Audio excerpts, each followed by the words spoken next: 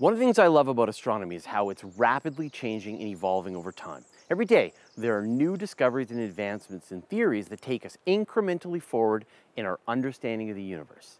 One of the best examples of this is dark matter, mysterious and invisible, but a significant part of the universe and accounting for the vast majority of the mass out there. It was first theorized almost 100 years ago when astronomers surveyed the total mass of distant galaxy clusters and found that the visible mass we can see must just be a fraction of the total material in those clusters.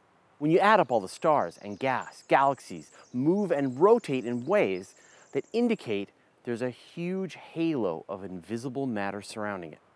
Some of the best evidence came from Vera Rubin and Kent Ford in the 60s and 70s when they measured the rotational velocity of edge-on spiral galaxies. They estimated that there must be about six times as much dark matter as regular matter.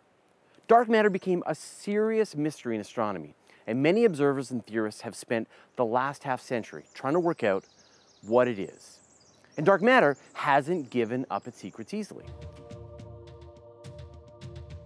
Originally, astronomers thought it might not actually be invisible mass, but a misunderstanding of how gravity works at the largest scales.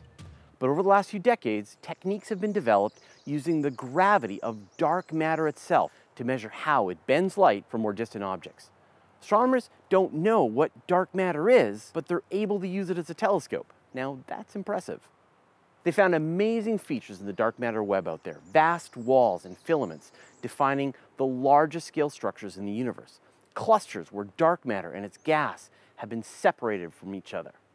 Remember, we're at the cutting edge of this mystery, and you're watching it unfold in real time. 25 years from now, 100 years from now, I'm sure we'll look back at our quaint attempts to understand dark matter.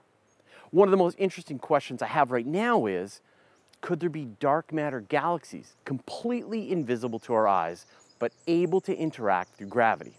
Of course, times like this, I like to bring in a ringer, someone who's dedicated their life to the study of these questions. And today, I've got Sarah Pearson, a graduate student of astronomy at Columbia University and the host of Space with Sarah. Sarah studies the formation and interactions of dwarf galaxies surrounding the Milky Way to understand how galaxies built up at the earliest times in the universe and form the largest galaxies we see in the present day. Sarah, welcome to the Guide to Space. Hi, Fraser. Thanks. So can you talk a little bit about how astronomers map out the distribution of dark matter in the universe? Yes, definitely. So that is a hard question because as you just explained, we actually don't see the dark matter. But one assumption about the universe we live in is that the light matter or baryonic matter, uh, for example, that you, me, and stars and planets consist of, and also galaxies, that they kind of trace out where the dark matter is also located. So one assumption is that the kind of light matter follows the dark matter. So in that way, we can actually map out to huge distances kind of how galaxies and clusters of galaxies are located in our universe, and we imagine that the dark matter structure is somewhat similar. And also recently, uh, very large scale structure simulations of our own universe have addressed this by kind of starting out with an almost uniform distribution of dark matter in the very early universe. And what they see is that when they let the universe evolve in time, for example, the universe is expanding, you kind of have these uh, dark matter clumps forming into galaxies and all these uh, filaments that you discussed. So you can kind of trace out the location of dark matter by just understanding the expansion of space versus gravity that kind of creates uh, the galaxies that we see. And, and I know in the observations you see these different distributions of matter and dark matter. It's not this sort of perfect one to six ratio that I mentioned before, that you actually see clumping of dark matter that's sometimes separated from the regular matter. So can you actually have whole galaxies that are entirely made of dark matter? Yes, that's actually one of the topics I'm super excited about. So I work on some of these dark matter only galaxies. And the way you can think of it is that the dark matter, as I said, is almost uniformly distribute, distributed in the early time in the universe, but some of it is slightly denser than other parts. So that creates and kind of collapses down into galaxies. And a lot of those galaxies will actually be a lot smaller than the Milky Way. But because they're so small, they have a hard time actually holding on to the matter within them. So we think that when star formation turned on in these galaxies, you might actually blow out a lot of the gas that could create more stars, but you won't blow out the dark matter. So that means you can end up with these kind of small, tiny galaxies that only have dark matter. And they might have some gas, but they're at least very, very hard for us astronomers to find. Well, if they are dark matter and the dark matter is invisible, mm-hmm. how do we find them? Oh, great question. So, for example, around our own uh, galaxy, the Milky Way, it's hypothesized in our current paradigm of cosmology and how we think about the universe that there should be actually thousands of dark matter clumps, these dark galaxies, kind of orbiting our own galaxy. And some of these might be destroyed when they, for example, pass through the huge Milky Way disk. That's one of way of destroying them. And some of the smallest one uh, ones might also be destroyed just from the tides as they orbit our galaxy. However, we imagine that some of them will survive, and actually they can plow through something called stellar streams, and that's, uh, for example, formed when a real galaxy with stars uh, falls into our own Milky Way and get kind of tidally stretched out. You should be able to see these density signatures in uh, the stellar streams that might indicate what type of dark matter halo that plowed through them. You hinted at a way that they could form, that you've got these stars as they're early forming and they're sort of blasting themselves apart and the clump of dark matter can't hold on to them and so that part is gone. Are, is that the main way that these might form? Are there other ways that you could get these dark galaxies? So, a different hypothesis is that if you have what's called uh, an AGN, an active galactic nuclei within uh, a galaxy from a black hole, you could actually that way blow out a lot of the gas from a galaxy as well. But it's still not really clear to us astronomers what type of galaxies and if all small galaxies would have these active galactic nuclei.